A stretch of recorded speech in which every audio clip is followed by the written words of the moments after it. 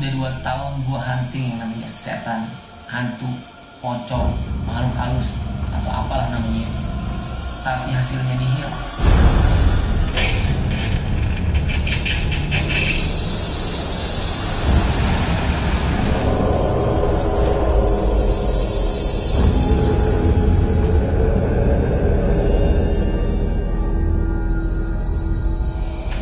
Buat semua.